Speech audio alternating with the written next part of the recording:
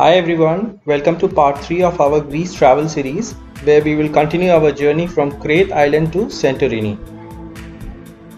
We covered this journey by taking a direct ferry from the passenger port of Heraklion in the Crete island to the new port of Santorini known as Athinios port.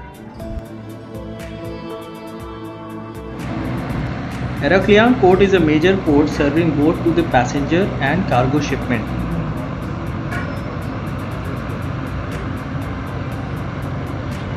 There are many cost-effective ferry options available to travel between the Greek islands like Sea Jets, Minoan, Hellenic Seaways. We traveled by Cosmote which was part of high-speed cruise lines of Hellenic Seaways and took less than 2 hours to reach to Santorini. Here is how it looks inside the ferry.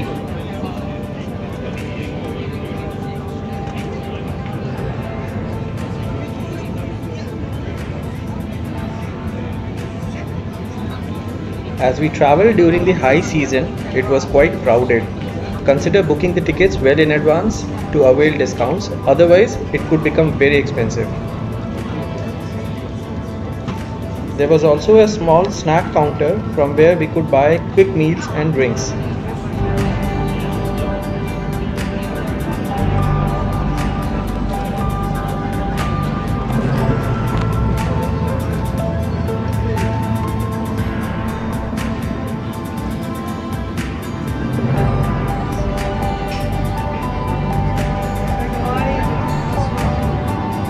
There was an upper deck area reserved for the luxury class.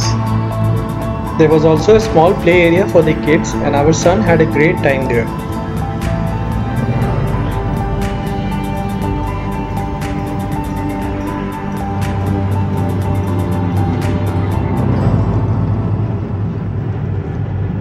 After two hours of sailing with scenic views of the Aegean Sea, we reached to the beautiful port of Santorini. First glance of this place before we arrived at the port was sufficient to captivate our hearts. After all, it has been our dream destination from a long time, and we couldn't resist but marvel the sheer beauty of this volcanic island.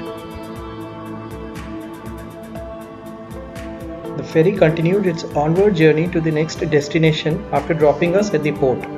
This unique shaped island was formed due to volcanic activity centuries ago.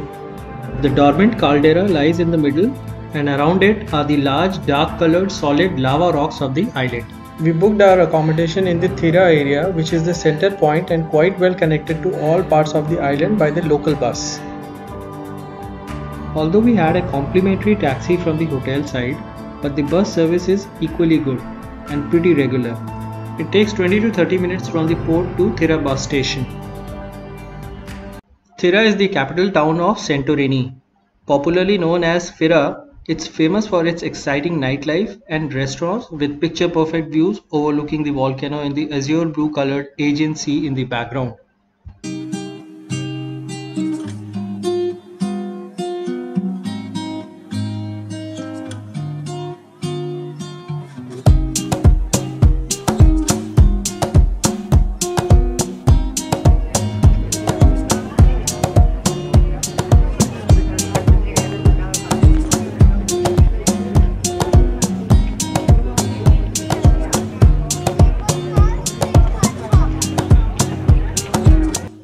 Harbour port of Fira is located down the cliff and is used primarily by the cruise ships and boats for the daily excursions. Apart from taking the stairs or donkey ride, there is a cable car option as well to reach there and come up. Being centrally located, Thira is well connected to all important places of the island by local bus, which is quite convenient and cost effective mode of transport. Other choice could be renting an ATV, Next on the list is the picturesque town of Oia. Relatively quieter in comparison to buzzing Thira, Oia offers a perfect opportunity for clicking those Instagram photos.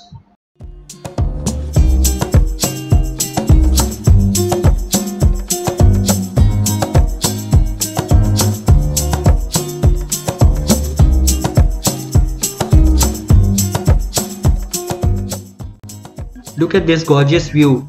This place looks so magical and believe me I felt like that this is totally unreal.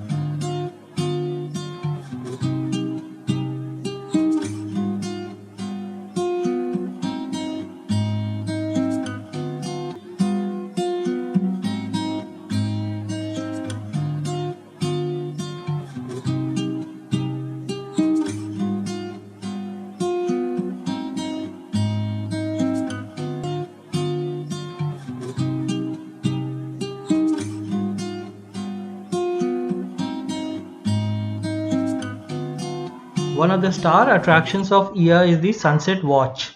The best spot for this is near the old castle overlooking the gorgeous Aegean Sea which turns golden blue during the sunset time.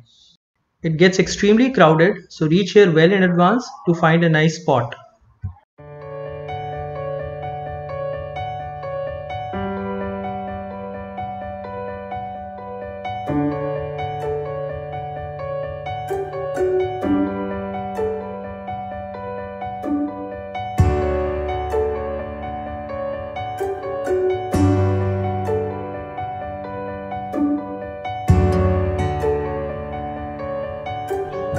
One of the most beautiful sunsets I have ever seen.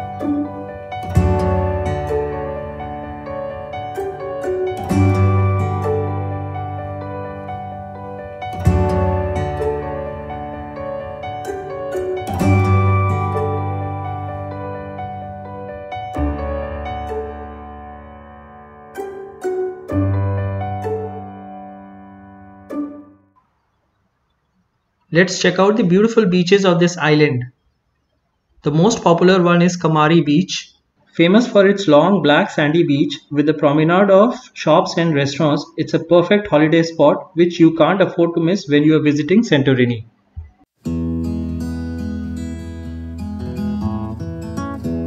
This beach is an ultimate destination for spending endless hours of leisure by the sea.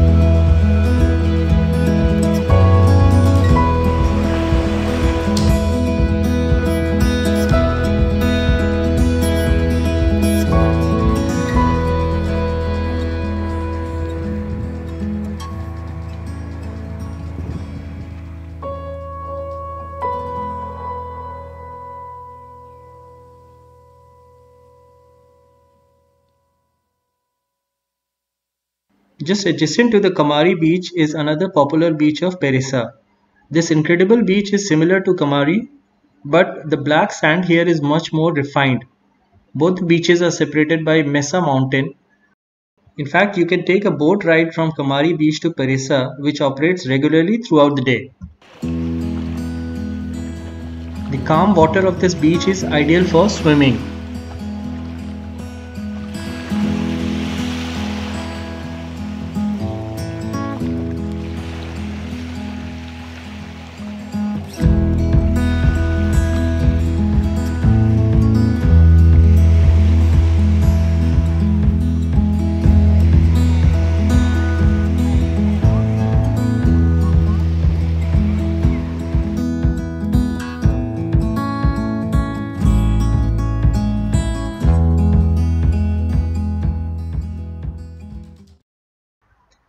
Third popular beach attraction of the island is Monolithos Beach.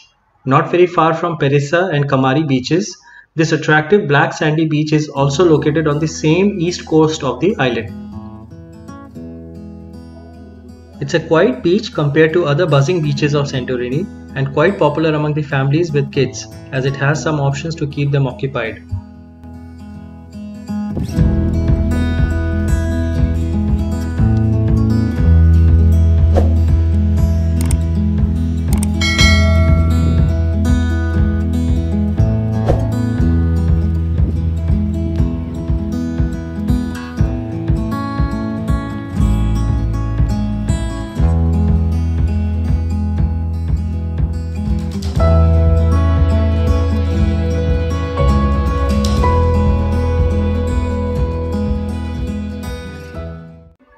Last recommended beach on the list is the famous Red Beach.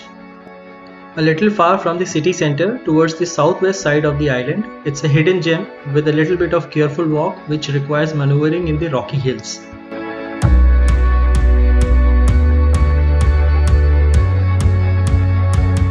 Combine the trip to the Red Beach with a visit to the historical town of Akrotiri, which is famous for its ancient ruins.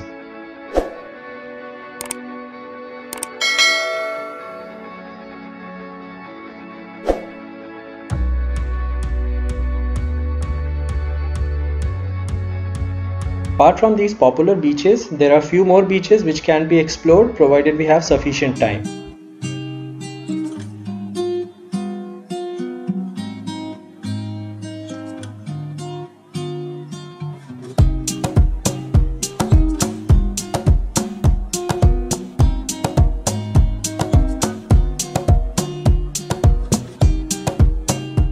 One of the highly recommended activity of Santorini is taking a day cruise to explore the island or visit the volcano.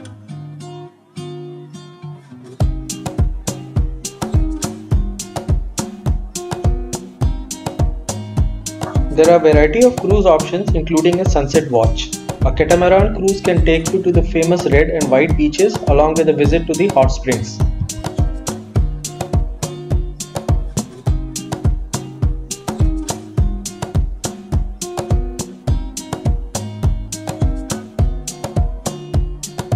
While Santorini boasts of some of the most expensive cliffside hotels with spectacular views of the caldera, there are accommodations available at reasonable prices as well. In my opinion, Thira is the best location to stay, well connected to all parts of the island. There are decent accommodations near the central square, which is within the walking distance from the scenic caldera cliff and the market area. Thank you for watching. Hope you enjoyed this series on Greece travel. See you in next video. Till then, stay connected.